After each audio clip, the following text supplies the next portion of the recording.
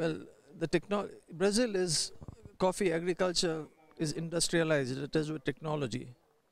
Yemen is completely manual farming, hand farming.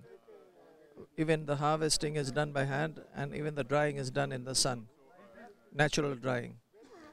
Uh, well, in Brazil, you see, because the economies of are so large, you know, and you have such large-scale operations that mechanized farming is the only possibility.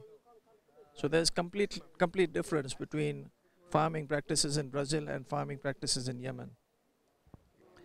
Brazilian coffee, of course, is a larger volume and larger quantities. It's a commercial coffee.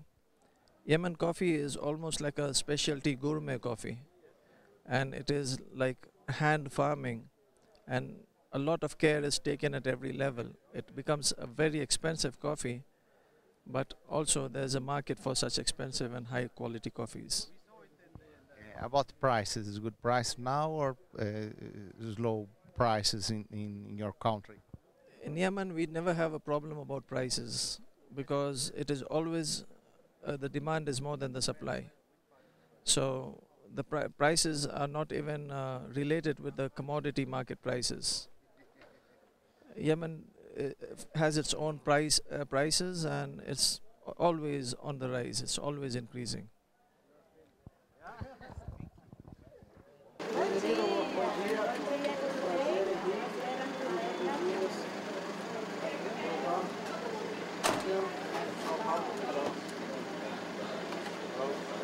Welcome. Hola. Welcome. Hey.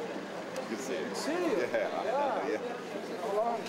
Too long. Be my guest.